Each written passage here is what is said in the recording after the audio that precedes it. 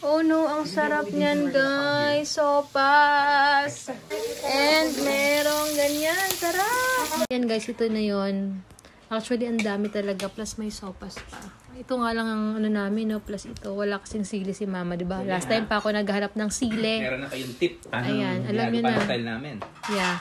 Kaya hindi niyo kami nakikita kumakain sa mga fine resto. Kasi dito pa lang kay mama pa lang talaga. may times pa dati na, na. may times pa talaga dati na parang one, one week, no? Puro tayo steak. Ah, Oo. Nag-take out pa kami. So, ayan. Kaya hindi talaga, hindi nyo kami makikita. Makita na kami kumakain sa resto kapag pasta, mga cakes, pero yung mga ganito. Grabe. Hindi namin nakikrave din talaga. Guys, ganito ginagawa ko. Hindi ko na dinadala to. So, spray ako sa hair. So, hanggang mamayang gabi na to.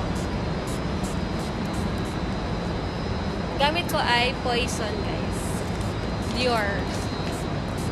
Para hindi na ako mag, ano, diba? ganyan ako talaga lagi man pabang. Kaya pala yung iba Hi, guys! Alam mo siguro nila. Oo nga eh. Ang hassle ng parking dito, wala pala. Hindi ka pwedeng mag-exit doon. Ay, mag-entrance doon. O, tara, doon na lang tayo. Mas malapit kasi bubuksan pa lang daw nila. So, ayan. Magsisimba muna kami. Ah, maaga-aga pa kami. Meron pa kaming, ah, I think, one and a half hours. So, magkakape muna kami. Ang sarap ng lunch namin kay mama kanina. Grabe, thanks ma. Ang sarap talaga nung, nung steak. So, ayan. Ayun, may nag may alam ko may, may natatandaan ako may nag-comment sa akin bakit daw hindi kami kumakain din sa mga fine ah mga fine resto. Kasi nga sa bahay pa lang nila mama, busog na busog na kami sa steak. Hindi na kami masyadong sa McDon kasi si mama laging nagluluto ng steak as in.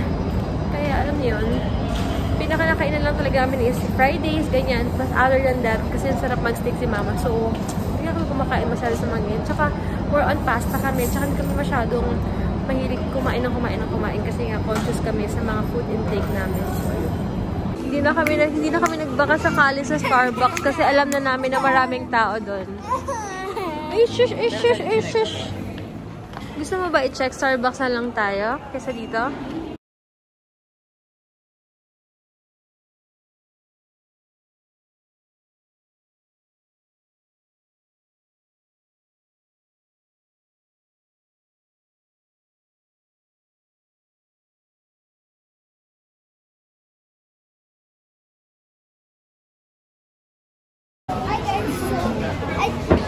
I just started it here, then I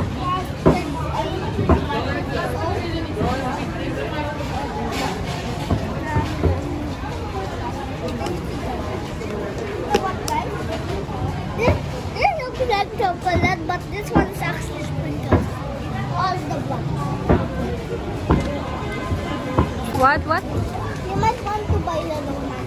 It's okay if we eat the cookies. Bye guys. Ayan guys, naglalakad na kami. Why, in- instead of buying PS5, we, we should, uh, we travel na lang, international. Instead of buying PS5. Yo, you save money, ah. So, we'll not buy PS5 this December. If, yeah, we're gonna save money for the PS5, then then I will then uh, you're, we'll have money for Boracay. About that? about that.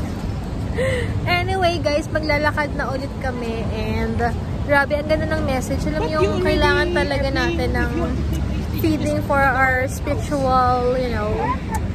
Iba kasi talaga pa nag-feed, na-feed talaga tayo ng mga ganyan. Ano daw?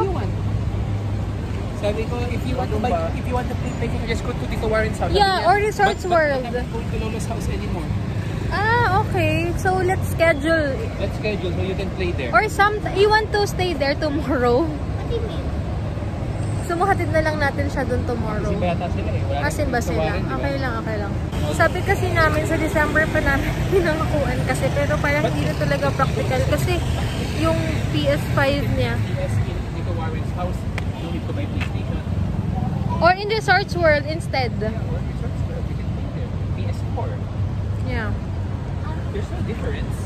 Yeah. It's it's still games. At least we have money for our travel. Right?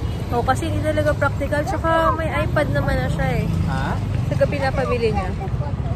But, anyway guys, yun nga sinasabi ko sa inyo kanina, ang sarap lang ma-feed yung, yung, ano mo, yung every, every Saturday or Sunday na magsisimpa talaga tayo guys. Kasi ang laking tulong. Kasi syempre natin maiiwasan. Lahat naman tayo may problema. Iba-iba naman tayong sitwasyon.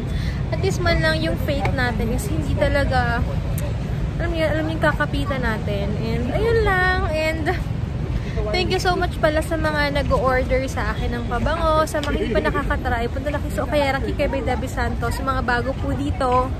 Pwede kayo umorder sa ng inspired perfume for only 249 pesos lang, 85 ml na. So, ayan guys. So, later na lang. Yeah, we can use this way.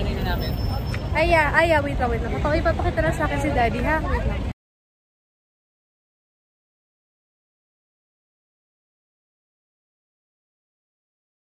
So guys, so ang gamit ko naman mukhang gamit na gamit talaga ang santal ko.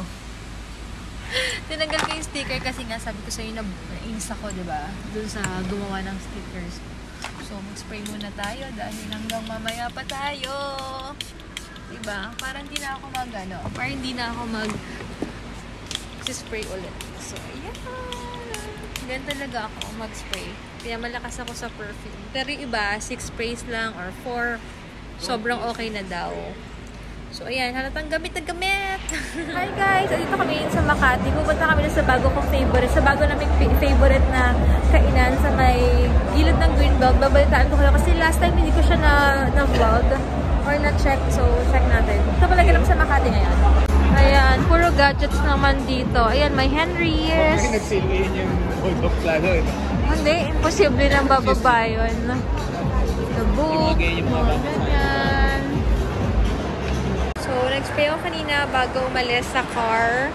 Tapos, sa elevator, humangin. Naamoy ako ni daddy. Amoy santal daw ako. Yun ang secret kung gusto nyo magkaroon ng compliment sa pabango nyo. Yeah, dapat ganun yung spray. Huwag kayong mag-depend kasi talagang magka, mabibigyan kayo ng compliment. Lalo pag humangin, tapos sa loob lang kayo na isang, sa isang place lang kayo. Bakit daw ang pabango nila, pero wala pa nakukuha compliments because they are a sissy sprayer. So, don't be a sissy sprayer. Hindi a sissy sprayer. Generous talaga. Although, la- lalo na kapag inspired yung perfume nyo, affordable naman. Huwag kayong magtipid, guys. Talagang magkakot ng attention yung bango nyo, guys.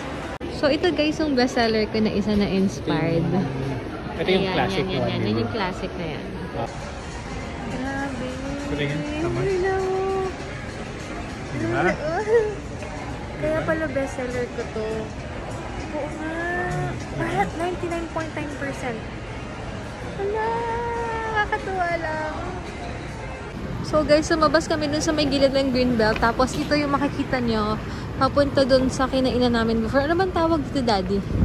Ah, ah, ano to eh, walk, sa baba ng walkway. Ayan, yan. Sa baba. Ayan. Papakita ko sa inyo anong street to. So, malalaman nyo. May subway din dito.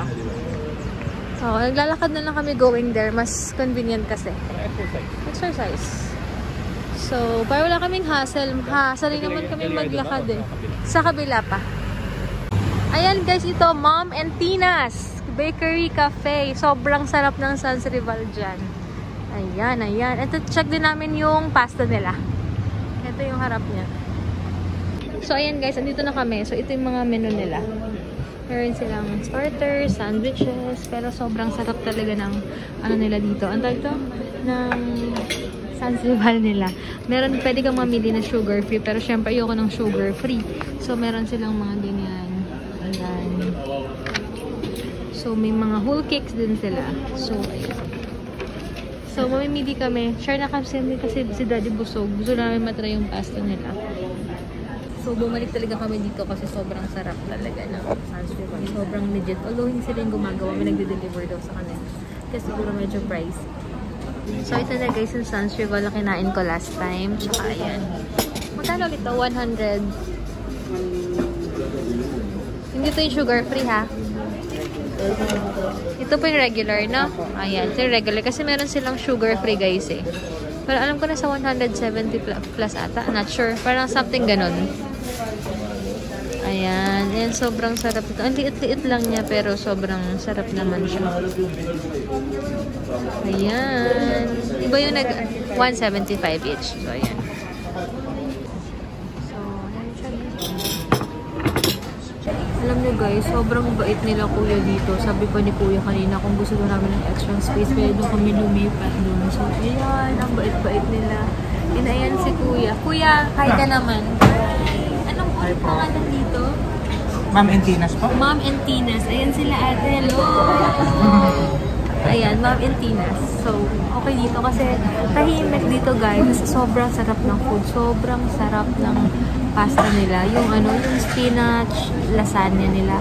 Sobrang the best. Tapos alagang-alaga ka sa water. Kuya, nilagyan ko na tuloy ng ano. Lagi ko, okay lang po. Dito na lang po. Palag dito na lang kuya ha. Ayan, tapos tawag dito. Napili kasi namin to kasi magaling space sila ma- maluwag doon. Tapos meron din sila sa labas. Tapos, ayun, um, very active sila. Sobrang sarap din ng cake. Hindi ko pa natatry yung sugar free nila, pero next time. Pero parang ayoko mag-take ng risk na itry yung sugar free ano nila, ah Sansival. Pero ano yung tinry mo last time dito?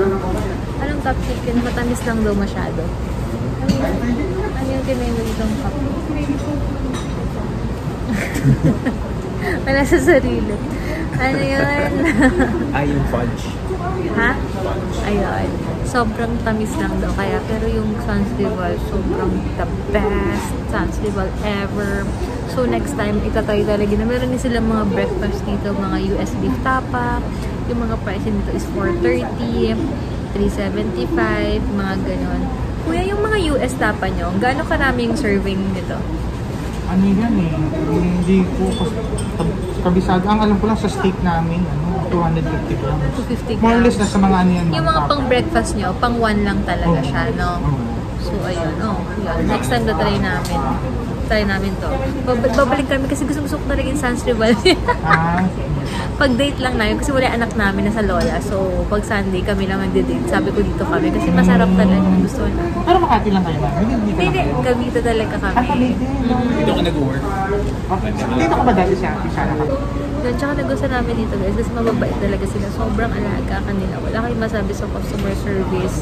Tapos okay lang kahit magstay ka dito ng matagal. Kasi last time, di ba nagstay kami dito ng 2 hours. Kasi si Daddy nagkaroon ng parang ano, parang meeting dito. Parang, online lang, online lang naman. Yun. And promise, try nyo dito, mababait sila kuya. Tsaka kung gusto daw namin ng mas malaking space or what, pinapalipat pa niya kami. Di ba? Di naman namin kailangan ng malaking space. Okay na kami to. Kasi dati gumagawa lang siya ng content. So yun, sabi ni kuya, yung tapa daw nila dito is 120 grams for breakfast lang. So all day breakfast, US beef tapa na siya. May tocino, may boneless. Mga nasa 300 to 470 pesos yung mga range ng mga ano nila, um, mga price nila dito. So, ayun.